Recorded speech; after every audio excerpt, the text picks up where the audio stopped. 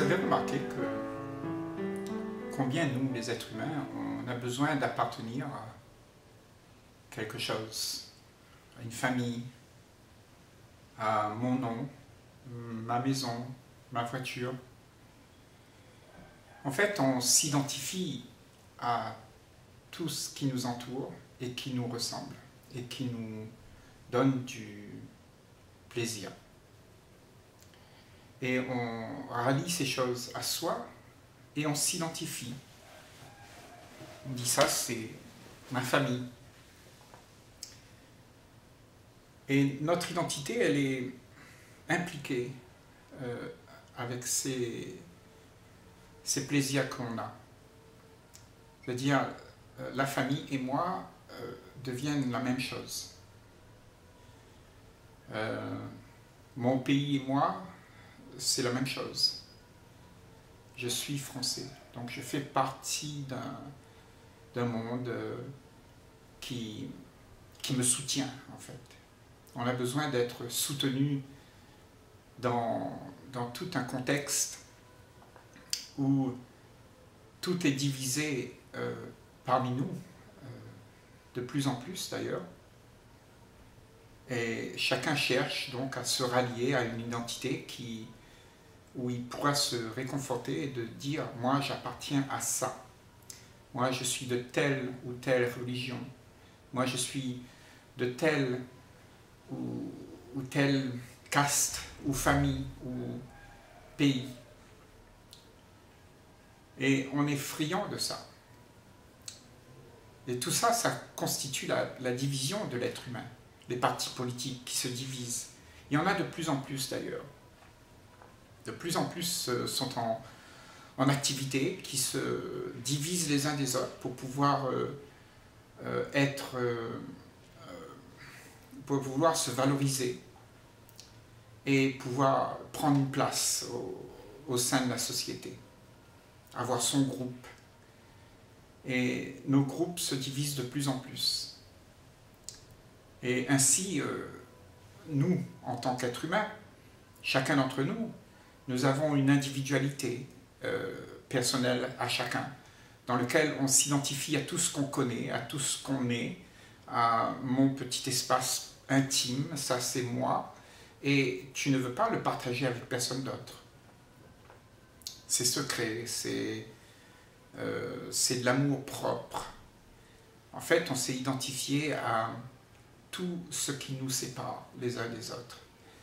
Alors que la vie, en fait, elle est vraiment le contraire. Elle n'est pas comme ça, la vie. La vie, elle englobe tout.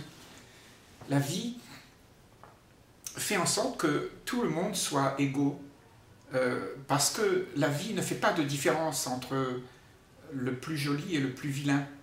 Euh, la, vie ne fait pas de différence. Elle accueille, sans jugement, sans dire c'est bien ou c'est pas bien. Toute cette division qu'il y a dans le monde aujourd'hui est issue de l'envie d'être séparé, l'envie d'être en sécurité.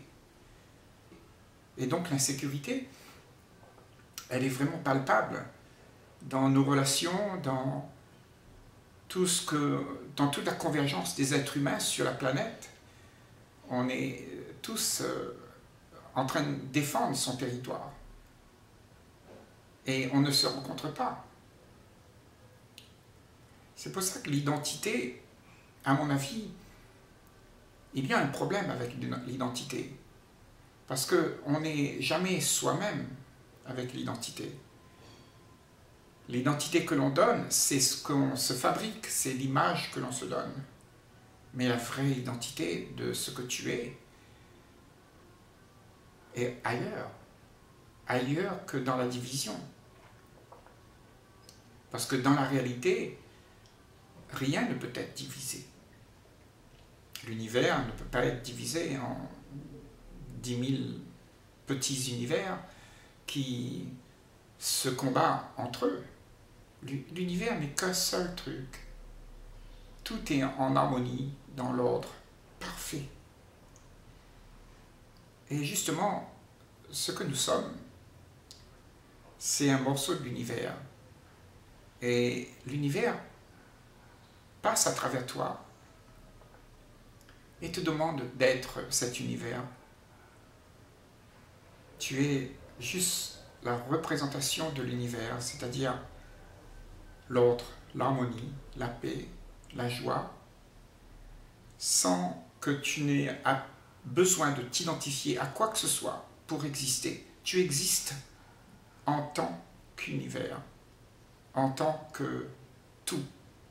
Tu n'existes pas en tant que personnalité dans l'identification de quelque chose. Maintenant, peut-être il faut savoir que ce que nous faisons quand nous faisons cette division entre nous, pourquoi la faisons-nous? Pourquoi en sommes-nous arrivés à faire en sorte que le naturel que nous sommes soit dilué dans la fragmentation Parce que nous voulons, en fait, nous voulons le bonheur, nous voulons être heureux, nous voulons être ensemble. Mais d'un autre côté, on se divise. Et en se divisant, en croyant avoir la sécurité, ben, on crée justement toute la rivalité dans ce monde, la souffrance, les peurs, les angoisses. Et c'est comme ça que ça arrive. Tu peux voir aujourd'hui, tu regardes dans, dans, le monde les pays qui se disputent entre eux pour un peu de pétrole, pour un territoire, pour une frontière, pour un peu d'argent qui n'a pas été donné. Et ça, ça se passe où? Ça se passe en soi. Chacun d'entre nous, on a cette graine qui se dispute en soi-même. Nous sommes nous-mêmes en rivalité avec nous-mêmes. Parce que nous voulons exister en tant qu'image constituée de ce que on aimerait pour qu'on soit accueilli dans le groupe que l'on est, devant la face à la personne que l'on est. Et ce n'est qu'une qu'une bataille de, de je tu m'as-tu vu, m'as-tu vu? C'est toute une bataille de, de représentation de soi face à ce que l'autre attend de toi. Donc, l'identité doit être vue comme quelque chose qui est qui n'est pas toi, que tu peux voir en tant que quelqu'un qui se retire un peu de lui-même et il voit la situation d'en haut, au-dessus de lui, et il voit que ce qu'il est n'est pas celui qui regarde.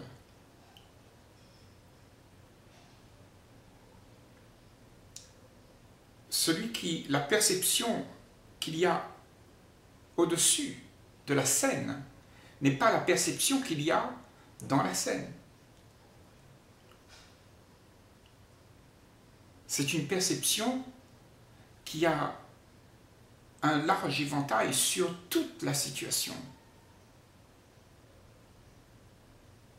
Et c'est ce que nous sommes. Nous sommes. Si nous, nous nous écartons de la division, nous allons regarder toute la division. La perception verra l'ensemble. Et cette perception-là, elle est uniforme, elle est harmonieuse. Et si nous avons, par ce fait, par ce fait d'observer, nous avons vu à travers cette perception, le chaos, et eh bien, cette perception c'est que tout ça n'est pas vrai. Tout ça, c'est dû à la bêtise humaine. Et donc, le fait de s'éloigner, de regarder de haut et de voir toute la perception de la scène, eh bien, tout, ce qui, tout ce qui va se faire, c'est l'ordre va se rétablir.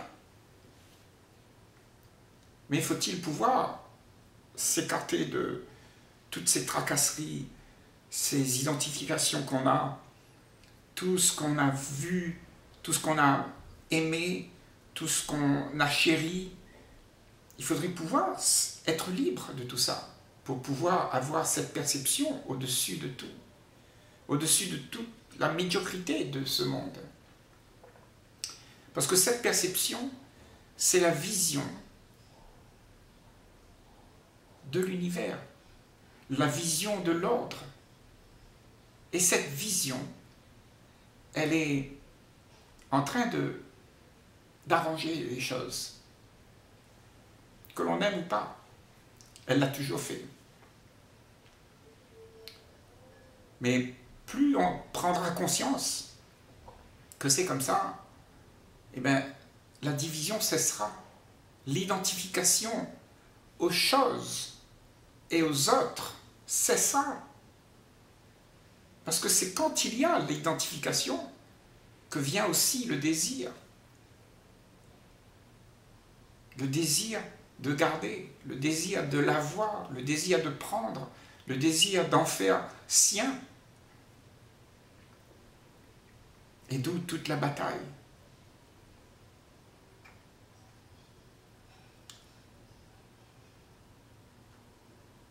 Le désir, c'est pas quelque chose de mauvais.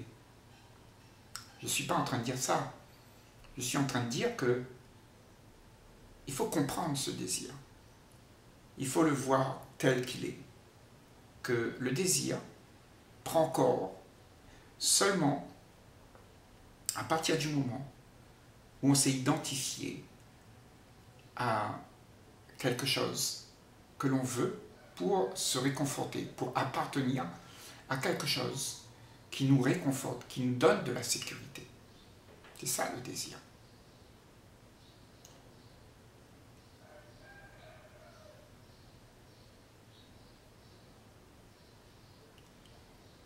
C'est l'identité qui fait le désir. Sans l'identification de soi, eh bien, il n'y a pas de désir. Il y a juste être là et jouir de tout ce qu'il y a d'instant en instant, sans qu'il y ait un centre égocentrique qui vienne mettre le nez dedans. Parce que la séparation, l'identification, c'est justement, cela appartient au centre égocentrique qui veut exister par rapport à sa situation. En fait, tout simplement l'ego.